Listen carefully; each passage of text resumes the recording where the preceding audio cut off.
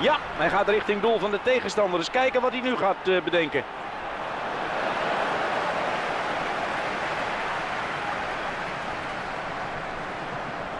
Oscar. Speler krijgt de bal weer terug. Juist. Ja, en nu? Het schot. Met dit doelpunt zijn ze op voorsprong gekomen. Ja, schitterend doelpunt en ze staan op voorsprong.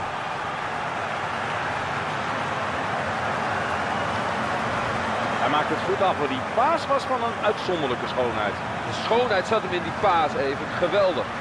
We gaan nog een keertje kijken naar die goal.